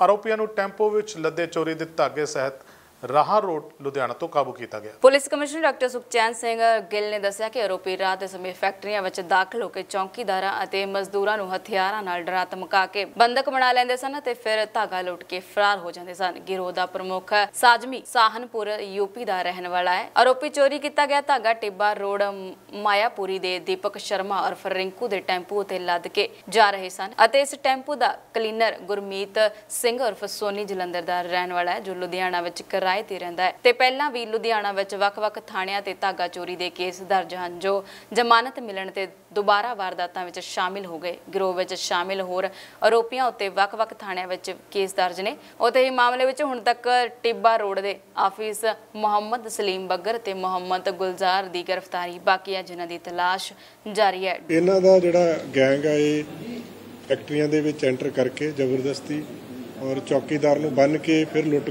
ਕਰਦੇ ਸੀਗੇ। ਔਰ ਸਾਰੇ ਦੇ ਸਾਰੇ ਜਿਹੜੇ ਇਨਸੀਡੈਂਟ ਕੀਤੇ ਇਹਨਾਂ ਨੇ, ਉਹਦੇ ਵਿੱਚ ਧਾਗਾ ਜਿਹੜਾ ਉਹੀ ਉਹਦੀ ਡਕੈਤੀ ਕੀਤੀ ਇਹਨਾਂ ਨੇ। ਟੋਟਲ ਜਿਹੜੇ ਨੇ 13 ਕੇਸ ਇਹਨਾਂ ਕੋਲੋਂ ਜਿਹੜੇ ਨੇ ਉਹ ਰਿਕਵਰ ਹੋਏ ਆ ਇਸ ਕੇਸ ਤੇ, ਇਸ ਪਾਰਟਿਕੂਲਰ ਗੈਂਗ ਤੋਂ। ਔਰ 7 ਬੰਦੇ ਅਸੀਂ ਗ੍ਰਿਫਤਾਰ ਕੀਤੇ ਆ। ਤਿੰਨ ਬੰਦੇ ਜਿਹੜੇ ਨੇ, ਜਿਹੜੇ ਧਾਗਾ ਅੱਗੇ ਖਰੀਦੇ ਸੀ ਇਹਨਾਂ ਕੋਲੋਂ, ਉਹ ਤਿੰਨ ਬੰਦੇ ਅਜੇ ਵੀ ਅਬਸਕੌਂਡਿੰਗ ਨੇ। ਸੋ ਇਹ CIA 1 inspector Harpal ACP sahib, Gagan Ajit ji DCP investigation ਇਹਨਾਂ ਦੀ ਟੀਮ ਨੇ ਬੜੀ ਵੱਡੀ ਸਫਲਤਾ ਪ੍ਰਾਪਤ ਕੀਤੀ ਕਿਉਂਕਿ ਪਿੱਛੇ ਕਾਫੀ ਇਨਸੀਡੈਂਟ ਇਦਾਂ ਦੇ ਹੋਏ ਸੀਗੇ।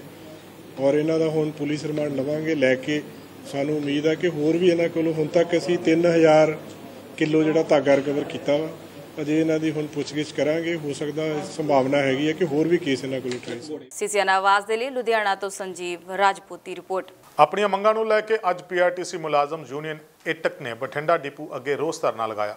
ਇਸ ਮੌਕੇ ਆਗੂਆਂ ਨੇ ਪੀਆਰਟੀਸੀ ਮੈਨੇਜਮੈਂਟ ਅਧਿਕਾਰੀਆਂ ਦੇ ਖਿਲਾਫ ਨਾਅਰੇਬਾਜ਼ੀ ਕੀਤੀ। ਪੀਆਰਟੀਸੀ ਡਿਪੂ ਬਠਿੰਡਾ ਅਧੀਨ ਕੰਮ ਕਰਦੇ ਕੱਚੇ ਮੁਲਾਜ਼ਮਾਂ ਨੂੰ ਰੈਗੂਲਰ ਕਰਨ, ਪੈਨਸ਼ਨਾਂ ਤੇ ਰਹਿੰਦੇ ਬਕਾਈ ਜਾਰੀ ਕਰਨ, ਕਿਲੋਮੀਟਰ ਸਕੀਮ ਅਧੀਨ ਚੱਲ ਰਹੀਆਂ ਸਰਕਾਰੀ ਬੱਸਾਂ ਨੂੰ ਬੰਦ ਕਰਨ ਵਰਗੀਆਂ ਅਹਿਮ ਮੰਗਾਂ ਨੂੰ ਲੈ ਕੇ ਅੱਜ ਮੁਲਾਜ਼ਮਾਂ ਨੇ ਬਠਿੰਡਾ ਡਿਪੂ ਅੱਗੇ ਪੀਆਰਟੀਸੀ ਮੁਲਾਜ਼ਮ ਯੂਨੀਅਨ ਐਟਕ ਦੀ ਅਗਵਾਈ ਹੇਠ ਰੋਸ ਪ੍ਰਦਰਸ਼ਨ ਕੀਤਾ। ਇਸ ਮੌਕੇ ਮੁਲਾਜ਼ਮ ਆਗੂ ਬਲਦੇਵ ਸਿੰਘ ਨੇ ਕਿਹਾ ਕਿ ਵਿਭਾਗ ਅਧਿਕਾਰੀ ਮੁਲਾਜ਼ਮਾਂ ਨਾਲ ਧੱਕੇਸ਼ਾਹੀ ਵਾਲਾ ਰਵੱਈਆ ਅਪਣਾ ਰਹੇ ਹਨ, ਜਿਸ ਕਾਰਨ ਸਮੂਹ ਮੁਲਾਜ਼ਮਾਂ ਵਿੱਚ ਭਾਰੀ ਰੋਸ਼ ਪਾਇਆ ਜਾ ਰਿਹਾ ਹੈ। ਮੁਲਾਜ਼ਮਾਂ ਦੇ ਪਿੱਛੇ ਲੰਬੇ ਸਮੇਂ ਤੋਂ ਰਹਿੰਦੇ ਬਕਾਏ ਜਾਰੀ ਨਹੀਂ ਕੀਤੇ ਗਏ ਅਤੇ ਨਾ ਹੀ ਡਿਊਟੀ ਕਰ ਰਹੇ ਮੁਲਾਜ਼ਮਾਂ ਨੂੰ ਵਰਦੀਆਂ ਤੇ ਹੋਰ ਸਹੂਲਤਾਂ ਦਿੱਤੀਆਂ ਗਈਆਂ ਹਨ। ਪ੍ਰੋਟੈਸਟ ਨਹੀਂ ਐਕਚੁਅਲੀ ਅੱਜ ਸਾਡਾ ਇੱਕ ਫੰਕਸ਼ਨ ਰੱਖਿਆ ਸੀ ਵੀ ਕਰਮਚਾਰੀ ਦਲ ਦੀ ਜਿਹੜੀ ਜਥੇਬੰਦੀ ਕੰਮ ਕਰਦੀ ਸੀ ਬਠਿੰਡੇ ਦੇ ਵਿੱਚ ਉਹਦੇ 100 ਤੋਂ ਵੱਧ ਕਰਮਚਾਰੀ ਉਹਨਾਂ ਨੂੰ ਛੱਡ ਕੇ ਏਟਕ ਦੇ ਵਿੱਚ ਸ਼ਾਮਲ ਹੋਏ ਨੇ। ਇੱਕ ਤੋਂ ਫੰਕਸ਼ਨ ਸੀ। ਦੂਜਾ ਅਸੀਂ ਇੱਕ ਮੈਸੇਜ ਦੇ ਰਿਹਾ ਹਰ ਇੱਕ ਡਿਪੂ ਦੇ ਵਿੱਚ ਵੀ ਜਿਹੜੀਆਂ ਪੀਐਸ ਦੇ ਵਰਕਰਾਂ ਦੀਆਂ ਮੰਗਾਂ ਨੇ, ਉਹ ਮੰਗਾਂ ਨੂੰ ਲਾਗੂ ਕਰਾਉਣ ਵਾਸਤੇ ਕਿਸ ਤਰ੍ਹਾਂ ਵਰਕਰਾਂ ਦੀ ਏਕਤਾ ਮਜ਼ਬੂਤ ਕੀਤਾ ਜਾਵੇ ਔਰ ਭਵਿੱਖ ਦੇ ਵਿੱਚ ਜਿਹੜੀ ਸੰਘਰਸ਼ ਦੀ ਬਿਉਤਬੰਦੀ ਕੀਤੀ ਜਾਵੇ। ਮੰਗਾਂ ਦੇ ਵਿੱਚ ਜਿਵੇਂ ਵੀ ਠੇਕੇ ਵਾਲੇ ਕਰਮਚਾਰੀ ਪੱਕੇ ਕਰਨੇ ਐਡਵਾਂਸ ਬੁੱਕਰਾਂ ਨੂੰ ਪੱਕੇ ਕਰਨਾ ਸੁਪਰੀਮ ਕੋਰਟ ਦੇ ਫੈਸਲੇ ਦੇ ਮੁਤਾਬਕ ਬਰਾਬਰ ਕੰਮ ਦੇ ਬਦਲੇ ਬਰਾਬਰ ਤਨਖਾਹ ਦੇਣਾ ਔਰ ਇਸ ਤਰ੍ਹਾਂ ਹੀ 1992 ਦੀ ਪੈਨਸ਼ਨ ਤੋਂ ਵਾਂਝੇ ਰਹਿ ਗਏ ਵਰਕਰਾਂ ਨੂੰ ਉਹ ਪੈਨਸ਼ਨ ਲਾਗੂ ਕੀਤੀ ਜਾਵੇ। ਸਰਕਾਰ ਦੇ ਔਰ ਅਦਾਲਤਾਂ ਦੇ ਜਿਹੜੇ ਫੈਸਲੇ ਨੇ, ਉਹ ਸਾਰੇ ਫੈਸਲੇ ਪੀਆਰਟੀ ਦੇ ਵਿੱਚ ਲਾਗੂ ਕੀਤੇ ਜਾਣ। ਕਿਲੋਮੀਟਰ ਸਕੀਮ ਦੀਆਂ ਗੱਡੀਆਂ ਨਾ ਪਾਈਆਂ ਜਾਣ। ਟਰਾਂਸਪੋਰਟ ਪਾਲਿਸੀ ਜਿਹੜੀ ਸਰਕਾਰ ਲਟਕਾ ਰਹੀ ਹੈ ਟਰਾਂਸਪੋਰਟ ਮਾਫੀਆ ਨੂੰ ਜਿਹੜੀ ਹੱਲਾਸ਼ੇਰੀ ਦਿੱਤੀ ਜਾ ਰਹੀ ਹੈ ਉਹ ਖਤਮ ਕੀਤਾ ਜਾਵੇ ਔਰ ਸੁਪਰੀਮ ਕੋਰਟ ਦਾ ਫੈਸਲਾ ਜਿਹੜਾ ਬੋਲਵੋ ਗੱਡੀਆਂ ਬੰਦ ਕਰਨ ਦਾ ਹੀ ਫੈਸਲਾ ਉਹ ਲਾਗੂ ਕੀਤਾ ਜਾਵੇ। ਸੀਸੀਐਨ ਆਵਾਜ਼ ਦੇ ਲਈ ਬਠਿੰਡਾ ਤੋਂ ਜਸਵਿੰਦਰ ਅਰੋੜਾ ਤੇ ਦੇਵ ਸਕਸੇਨਾ ਦੀ ਰਿਪੋਰਟ। ਪੰਜਾਬ ਸਰਕਾਰ ਦੁਆਰਾ ਪਿੰਡਾਂ 'ਚ ਖੁੱਲੇ 724 ਸੇਵਾ ਕੇਂਦਰ ਬੰਦ ਕਰਨ ਦਾ ਐਲਾਨ ਕੀਤਾ ਗਿਆ। ਜਿਸ ਦੇ ਰੋਸ ਵਜੋਂ ਅੱਜ ਬਠਿੰਡਾ ਦੇ ਪਿੰਡ ਮਾਨਵਾਲਾ ਦੇ ਵਾਸੀਆਂ ਵੱਲੋਂ ਸਰਕਾਰ ਦੇ ਖਿਲਾਫ ਰੋਸ ਪ੍ਰਦਰਸ਼ਨ ਕੀਤਾ ਗਿਆ। ਇਸ ਮੌਕੇ ਲੋਕਾਂ ਨੇ ਦੱਸਿਆ ਕਿ ਸੇਵਾ ਕੇਂਦਰ ਬੰਦ ਕਰਨ ਦਾ ਸਰਕਾਰ ਦਾ ਫੈਸਲਾ ਸਰਾਸਰ ਗਲਤ ਹੈ ਜਿਸ ਨਾਲ ਲੋਕਾਂ ਨੂੰ ਭਾਰੀ ਮੁਸ਼ਕਲਾਂ ਦਾ ਸਾਹਮਣਾ ਕਰਨਾ ਪਵੇਗਾ। ਕਿਉਂਕਿ ਪਿੰਡ ਦੀਆਂ ਛੋਟੀਆਂ-ਮੋਟੀਆਂ ਸਮੱਸਿਆਵਾਂ ਦਾ ਹੱਲ ਇਹਨਾਂ ਸੇਵਾ ਕੇਂਦਰਾਂ ਵਿੱਚ ਹੀ ਹੋ ਜਾਂਦਾ ਸੀ। ਇਸ ਦੇ ਨਾਲ ਹੀ ਇਹਨਾਂ ਦਾ ਵਿੱਚ ਕੰਮ ਕਰਨ ਵਾਲੇ ਹਜ਼ਾਰਾਂ ਕਾਮੇ ਬੇਰੋਜ਼ਗਾਰ ਹੋ ਜਾਣਗੇ। ਇਹ ਸਰਕਾਰ ਦਾ ਬਹੁਤ ਮਾੜਾ ਕਦਮ ਚੁੱਕਿਆ ਜੀ ਸਰਕਾਰ ਨੇ। ਸਾਨੂੰ ਬਹੁਤ ਚਿਰ ਤੋਂ ਭਾਲ ਤੋਂ ਬਾਅਦ ਸਾਨੂੰ ਮਸਾ ਇਹ ਨੌਕਰੀ ਨਸੀਬ ਹੋਈ ਸੀ। ਸਾਨੂੰ ਤਕਰੀਬਨ 4 ਮਹੀਨੇ ਦੀ ਤਨਖਾਹ ਅਜੇ ਤੱਕ ਮਿਲੀ ਨਹੀਂ ਜੀ। 8700 ਕੁਛ ਰੁਪਏ ਤਨਖਾਹ ਹੁੰਦੀ ਹੈ ਜੀ। ਜੁਆਇਨਿੰਗ ਲੈਟਰ ਦੇ ਹਿਸਾਬ ਨਾਲ ਸਾਨੂੰ 1100 11000 ਕੁਛ ਰੁਪਏ ਆਉਣੇ ਸੀਗੇ ਜੀ। ਪਰ ਸਾਨੂੰ ਅਕਾਊਂਟ 'ਚ ਸਿਰਫ 8700 ਕੁਛ ਰੁਪਏ ਹੀ ਆਉਂਦੇ ਆ। ਫ੍ਰੀ ਵਾਂਗੂ ਇਹ ਸੇਵਾ ਕਰ ਰਹੇ ਸੀ। 4 ਮਹੀਨੇ ਤੋਂ ਅਸੀਂ ਫ੍ਰੀ ਵਾਂਗੂ ਸੇਵਾ ਕਰ ਰਹੇ ਹਾਂ ਜੀ। ਅਸੀਂ ਮੰਗ ਕਰਦੇ ਹੋ ਸਰਕਾਰ ਕੇਂਦਰ? ਬੰਦ ਨਹੀਂ ਹੋਣੇ ਚਾਹੀਦੇ। ਲੋਕਾਂ ਦੀ ਭਲਾਈ ਵਾਸਤੇ ਕੰਮ ਇੱਥੇ ਹੁੰਦੇ ਸੀ ਬੁਢਾਪਾ ਪੈਨਸ਼ਨ ਦੇ ਇੱਥੇ ਅਪਲਾਈ ਹੁੰਦੇ ਸੀ ਜੀ ਜਿਨ੍ਹਾਂ ਖਾਤਰ ਅਗਲੇ ਨੂੰ ਜਿਹਦੇ ਵਿੱਚ ਤਕਰੀਬਨ ਕੋਈ 95 96 ਸਹੂਲਤਾਂ ਸੀਗੇ ਜਿਨ੍ਹਾਂ ਲੋਕਾਂ ਨੂੰ ਪਿੰਡ 'ਚ ਮਿਲਦੀਆਂ ਸੀ ਹਾਂਜੀ ਹਾਂਜੀ ਹਾਂ। ਪੰਜਾਬ ਸਰਕਾਰ ਦਾ ਇਹ ਬਹੁਤ ਹੀ ਮਤਲਬ ਮੰਦਭਾਗੀ ਜਿਹੜੀ ਗੱਲ ਉਹਨਾਂ ਨੇ ਕੀਤੀ ਹੈ ਕਿ ਪੰਜਾਬ ਦੇ ਵਿੱਚ ਇੱਕ ਬੜਾ ਵਧੀਆ ਉਪਰਾਲਾ ਸੀ ਕਿ ਸੇਵਾ ਕੇਂਦਰ ਚੱਲ ਰਹੇ ਸੀ। ਕਿ ਪਿੰਡਾਂ ਦੇ ਲੋਕਾਂ ਨੂੰ, ਪਿੰਡਾਂ ਦੇ ਵਿੱਚੋਂ ਹੀ ਜਿਹੜੀਆਂ ਮਤਲਬ ਉਹਨਾਂ ਦੇ ਛੋਟੇ-ਮੋਟੇ ਕੰਮ ਸੀ, ਲਗਭਗ 95 96 ਪ੍ਰਕਾਰ ਦੀਆਂ ਸਹੂਲਤਾਂ ਜਿਹੜੀਆਂ ਉਹਨਾਂ ਨੂੰ ਪਿੰਡ ਵਿੱਚ ਬੈਠਿਆਂ ਨੂੰ ਮਿਲ ਰਹੀਆਂ ਸੀ। ਬਾਕੀ ਰੋਜ਼ਗਾਰ ਜਿਹੜਾ ਲੋਕਾਂ ਨੂੰ ਮਿਲਿਆ ਸੀ ਉਹ ਤਾਂ ਅਲੱਗ ਇਸ਼ੂ ਹੈ। ਤਾਂ ਪਿੰਡ ਦੇ ਲੋਕ ਇੱਥੇ ਆ ਕੇ ਆਸਾਨੀ ਨਾਲ ਆਪਦਾ ਕੰਮ, ਧੰਦਾ ਜਿਹੜਾ ਛੋਟੇ-ਮੋਟੇ ਕਾਗਜ਼ ਪੱਤਰਾਂ ਦਾ ਕੰਮ ਸੀ, ਕਰਾ ਲੈਂਦੇ ਸੀ। ਤਾਂ ਪੰਜਾਬ ਸਰਕਾਰ ਨੇ ਜਿਹੜੀ ਗੱਲ ਸ਼ੁਰੂ ਦੇ ਵਿੱਚ ਕੀਤੀ ਸੀ ਕਿ ਅਸੀਂ ਜਦੋਂ ਸਾਡੀ ਸਰਕਾਰ ਬਣ ਗਈ, ਅਸੀਂ ਮੰਨ ਕੇ ਚੱਲੋ ਵੀ ਘਰ ਘਰ ਦੇ ਇੱਕ ਮੈਂਬਰ ਨੂੰ ਨੌਕਰੀ ਦੇਵਾਂਗੇ।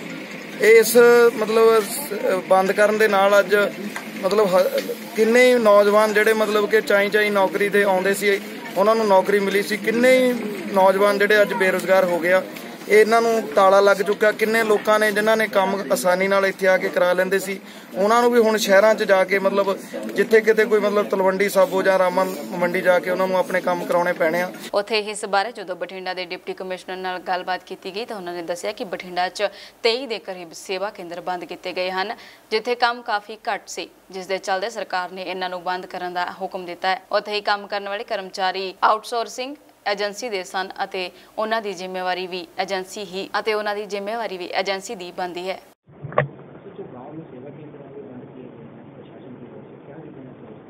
ਨਹੀਂ ਟਾਈਪ 3 ਸੇਵਾ ਕੇਂਦਰ ਜਿਹੜਾ ਹੈ 23 ਬੰਦ ਕੀਤੀ ਗਈ ਹੈ ਔਰ ਉੱਥੇ ਜਿਹੜਾ ਫੁੱਟਫਾਲ ਕਾਫੀ ਘੱਟ ਸੀਗਾ ਔਰ ਡੇਲੀ ਦਾ ਟ੍ਰਾਂਜੈਕਸ਼ਨ 2 ਜਾਂ 3 ਤਿੰਨ ਹੀ ਸੀ, ਤੋਂ ਉਹਨਾਂ ਨੂੰ ਜਿਹੜਾ ਸਰਕਾਰ ਵੱਲੋਂ ਜਿਹੜਾ ਬੰਦ ਕਰਨ ਦਾ ਫੈਸਲਾ ਲਿਆ ਗਿਆ।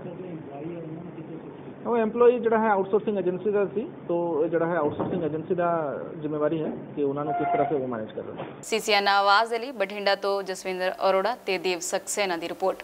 ਹਰ ਰੋਜ਼ ਵਾਪਰਦੀਆਂ ਬਲਾਤਕਾਰ ਤੇ ਲੁੱਟ-ਖੋਹ ਦੀਆਂ ਘਟਨਾਵਾਂ ਨੂੰ ਰੋਕਣ ਦੇ ਲਈ ਪੁਲਿਸ ਵਿਭਾਗ ਵੱਲੋਂ ਕਈ ਅਹਿਮ ਕਦਮ ਚੁੱਕੇ ਗਏ ਹਨ। ਜਿਸ ਦੇ ਚੱਲਦੇ ਰੋਡਵੇਜ਼ ਵਿਭਾਗ ਵੱਲੋਂ ਸਰਕਾਰੀ ਬੱਸਾਂ ਦੇ ਮੁਲਾਜ਼ਮਾਂ ਨੂੰ ਵਰਦੀਆਂ ਤੇ ਨੇਮ ਪਲੇਟਾਂ ਦੀ ਸੁਵਿਧਾ ਮੁਹੱਈਆ ਕਰਵਾਈ ਗਈ ਹੈ। ਪਰ ਸ਼੍ਰੀ ਮੁਕਤਸਰ ਸਾਹਿਬ ਦੇ ਰੋਡਵੇਜ਼ ਮੁਲਾਜ਼ਮ ਵਿਭਾਗ ਦੇ ਹੁਕਮਾਂ ਨੂੰ ਟਿੱਚ ਜਾਣ ਦੇ ਕਦੇ ਸਰਕਾਰੀ ਵਰਦੀ ਤੇ ਨੇਮ ਪਲੇਟ ਦੀ ਵਰਤੋਂ ਕਰਨਾ ਵੀ ਮੁਨਾਸਿਬ ਨਹੀਂ ਸਮਝਦੇ। ਹਾਲ ਇਹ ਹਨ ਕਿ ਸਵੇਰ ਦੇ ਸਮੇਂ ਸ਼੍ਰੀ ਮੁਕਤਸਰ ਸਾਹਿਬ ਤੋਂ ਹੋਰਨਾਂ ਸ਼ਹਿਰਾਂ ਨੂੰ ਜਾਣ ਵਾਲੀਆਂ ਬੱਸਾਂ 'ਚ ਕਿਸੇ ਵੀ ਸਰਕਾਰੀ ਡਰਾਈਵਰ ਜਾਂ ਕੰਡਕਟਰ ਨੇ ਵਰਦੀ ਤੇ ਨੇਮ ਪਲੇਟ ਨਹੀਂ ਪਹਿਨੀ ਸੀ। ਜਦੋਂ ਇਸ ਸੰਬੰਧੀ ਰੋਡਵੇਜ਼ ਮੁਲਾਜ਼ਮਾਂ ਨੂੰ ਵਰਦੀਆਂ ਨਾ ਪਹਿਨਣ ਦਾ ਕਾਰਨ ਪੁੱਛਿਆ ਗਿਆ ਤਾਂ ਉਹਨਾਂ ਨੇ ਯੂਨੀਅਨ ਦੇ ਪ੍ਰਧਾਨ ਨਾਲ ਗੱਲ ਕਰਨ ਬਾਰੇ ਕਹਿ ਕੇ ਡੰਗ ਸਾਰ ਦਿੱਤਾ। ਸਵੇਰ ਦਾ ਸਮਾਂ ਅਕਸਰ ਹੀ ਵਿਦਿਆਰਥੀ ਵਰਗ ਦੇ ਨੌਜਵਾਨ ਲੜਕੇ ਲੜਕੀਆਂ ਲਈ ਆਪਣੇ ਸਕੂਲ ਕਾਲਜਾਂ ਨੂੰ ਜਾਣ ਵਾਲਾ ਹੋਣ ਕਾਰਨ ਇਹ ਦੇਖਿਆ ਗਿਆ ਹੈ ਕਿ ਸਰਕਾਰੀ ਨਿਯਮ ਸਿਰਫ ਕਾਗਜ਼ਾਂ 'ਚ ਬੰਦ ਪਏ ਹਨ। ਅਸਲ 'ਚ ਨਿਯਮ ਤੋੜੇ ਜਾ ਰਹੇ ਹਨ, ਠੇਕਾ ਪ੍ਰਣਾਲੀ ਅਧੀਨ ਕੰਮ ਕਰਦੇ। ਬੱਸ ਯੂਨੀਅਨ ਦੇ ਆਗੂ ਕਮਲ ਕੁਮਾਰ ਨੇ ਦੱਸਿਆ ਕਿ ਉਹਨਾਂ ਦੀਆਂ ਤਨਖਾਹਾਂ 10000 ਨੇ ਤੇ ਠੇਕੇਦਾਰ ਦੁਆਰਾ ਡਰਾਈਵਰਾਂ, ਕੰਡਕਟਰਾਂ ਨੂੰ ਵਰਦੀਆਂ ਨਹੀਂ ਦਿੱਤੀਆਂ ਜਾਂਦੀਆਂ। ਜਦੋਂ ਕਿ ਪੱਕੇ ਮੁਲਾਜ਼ਮ ਦੀ ਤਨਖਾਹ ਵੀ 70 ਤੋਂ 80 ਹਜ਼ਾਰ ਹੈ ਅਤੇ ਵਰਦੀ ਵੀ ਮਿਲਦੀ ਹੈ ਪਰ ਉਹ ਨਹੀਂ ਪਹਿਨਦੇ। ਸਰ ਕਿੰਨੇ ਚਿਰ ਤੋਂ ਤੁਸੀਂ ਸਰਕਾਰ ਦੀ ਜੌਬ ਕਰ ਰਹੇ ਹੋ? 2009 ਤੋਂ ਜੀ। ਸਰ ਇੱਕ ਸਰਕਾਰ ਨੇ ਯੂਨੀਫਾਰਮ ਦਾ ਕੋਡ ਲਾਇਆ ਹੋਇਆ ਇੱਕ ਪ੍ਰੋਪਰ ਵਰਦੀਆਂ ਤੇ ਨੇਮ ਪਲੇਟਾਂ ਉਹਦੇ ਸੰਬੰਧੀ ਕੀ ਕਹਿਣਾ ਚਾਹੋਗੇ? ਪਾਈਆਂ ਕਿਉਂ ਨਹੀਂ ਵਰਤਦੇ ਕਿਉਂ ਨਹੀਂ? ਸਰ ਦਿੰਦੇ ਹੀ ਨਹੀਂ ਹੈਗੇ ਸਾਨੂੰ। ਤੁਸੀਂ ਮੰਗ ਰੱਖਦੇ ਹੋ ਜੀ ਅਧਿਕਾਰੀ ਅਸੀਂ ਮੰਗ ਰੱਖੀ ਹੈ ਜੀ ਪਰ ਉਹ ਦਿੰਦੇ ਨਹੀਂ ਸਾਨੂੰ। ਰੈਗੂਲਰ ਨੂੰ ਦਿੰਦੇ ਜਿਹੜੀ ਅਸੀਂ ਆ ਤਨਖਾਹ ਉਹਨਾਂ ਨੂੰ ਦਿੰਦੇ ਆ। ਸਾਨੂੰ ਤਨਖਾਹ ਵੀ 10000 332 ਰੁਪਏ 50 ਪੈਸੇ ਦਿੰਦੇ ਆ। ਤੇ ਵਰਦੀਆਂ ਵੀ ਨਹੀਂ ਦਿੰਦੇ। ਡਰਾਈਵਰਾਂ ਕੰਡਕਟਰਾਂ ਦੁਆਰਾ ਡਿਊਟੀ ਦੌਰਾਨ ਵਰਦੀ ਅਤੇ ਨੇਮ ਪਲੇਟ ਨਾ ਲਗਾਉਣ ਸੰਬੰਧੀ ਪੰਜਾਬ ਰੋਡਵੇਜ਼ ਦੇ ਡੀਆਈ ਇਕਬਾਲ ਸਿੰਘ ਨੇ ਮੰਨਿਆ ਕਿ ਵਰਦੀਆਂ ਨਹੀਂ ਮਿਲਦੀਆਂ, ਜੇਕਰ ਮਿਲਦੀਆਂ ਵੀ ਹਨ ਤਾਂ ਉਹ ਵੀ ਸਾਲ 'ਚ ਦੋ ਹੀ ਮਿਲਦੀਆਂ ਹਨ। ਸਵਾਲ ਉੱਠਦਾ ਹੈ ਕਿ ਪੰਜਾਬ ਰੋਡਵੇਜ਼ ਦੇ ਅਧਿਕਾਰੀ ਅਤੇ ਕਰਮਚਾਰੀ ਫੰਡਾਂ ਦੀ ਕਮੀ ਦਾ ਵਾਸਤਾ ਤਾਂ ਪਾਉਂਦੇ ਹਨ, ਪਰ ਸ਼ਾਇਦ ਇਸ ਗੱਲ ਤੋਂ ਅਣਜਾਣ ਹਨ ਕਿ ਇਹ ਮਾਨਯੋਗ ਅਦਾਲਤ ਦੇ ਹੁਕਮਾਂ ਦੀ ਵੱਡੀ ਉਲੰਘਣਾ ਹੋ ਰਹੀ ਹੈ, ਜਿਸ ਪ੍ਰਤੀ ਸਰਕਾਰ ਦਾ ਅਵੇਸਲਾਪਣ ਵੀ ਲੁਕਿਆ ਨਹੀਂ ਹੈ। ਜਿਹੜੀਆਂ ਇਹ ਵਰਦੀਆਂ ਹੈੱਡ ਆਫਿਸ ਭੇਜਦਾ ਜੀ, ਇੱਕ ਠੰਡੇ ਤੇ ਇੱਕ ਗਰਮ ਵਰਦੀ, ਉਹ ਤਾਂ ਬਜਟ ਦੀ ਕਮੀ ਹੈ ਜੀ ਇਸ ਕਰਕੇ ਨਹੀਂ ਆ ਰਹੀਆਂ ਜੀ। ਸਰ ਵਰਦੀਆਂ ਤਾਂ ਉਹ ਵੀ ਸਰ- ਮਹਿੰਗਾਈ ਦੇ ਕਾਰਨ ਹੀ ਆ ਰਹੀਆਂ। ਨੇਮ ਪਲੇਟਾਂ ਦੇ ਉੱਪਰ ਕਿੰਨਾ ਖਰਚ ਹੁੰਦਾ? ਕੀ ਵਿਭਾਗ ਵੱਲੋਂ ਨੇਮ ਪਲੇਟਾਂ ਮੁਹੱਈਆ ਕਰਾਈਆਂ ਗਈਆਂ ਜਾਂ ਨਹੀਂ ਜੀ? ਉਹ ਜੀ ਅੱਜ ਤੱਕ ਮੈਂ ਤਾਂ ਵੇਖਿਆ ਨਹੀਂ ਕਿ ਤਾਂ ਕੋਲੋਂ ਹੀ ਆਪ ਹੀ ਕ- ਕਿ ਕੁਰਾਈਆਂ ਨਹੀਂ ਕਿਸੇ ਨੇ ਵਿਭਾਗ ਨਹੀਂ ਸਰ ਕੀ ਤੁਸੀਂ ਇਸ ਚੀਜ਼ ਨੂੰ ਪੰਜਾਬ ਰੋਡਵੇਜ਼ ਦੀ ਵੱਡੀ ਅਣਗਹਿਲੀ ਮੰਨਦੇ ਹੋ ਜਾਂ ਨਹੀਂ? ਮੈਂ ਇਹਦੇ ਬਾਰੇ ਕੁਝ ਨਹੀਂ ਕਹਿ ਸਕਦਾ ਜੀ। ਇਹ ਤਾਂ ਹੈ ਡਿਪਾਰਟਮੈਂਟ ਦੇ ਹੈੱਡ ਹੀ ਦੱਸ ਸਕਦੇ ਜੀ। ਧੰਨਵਾਦ। ਸੀਸੀਐਨ ਆਵਾਜ਼ ਲਈ ਸ੍ਰੀ ਮੁਕਤਸਰ ਸਾਹਿਬ ਤੋਂ ਤਰਸੇਮ ਟੂਡੀ ਦੀ ਰਿਪੋਰਟ ਫਿਲਹਾਲ ਦੇ ਲਈ ਇੰਨਾ ਹੀ। ਤਾਜ਼ਾ ਤਰੀਨ ਜਾਣਕਾਰੀ ਦੇ ਲਈ ਜੁੜੇ ਰਹੋ ਸੀਸੀਐਨ ਆਵਾਜ਼ ਦੇ ਨਾਲ। ਤੇ ਮੈਨੂੰ ਦਿਓ ਇਜਾਜ਼ਤ। ਸਤਿ ਸ਼੍ਰੀ ਅਕਾਲ।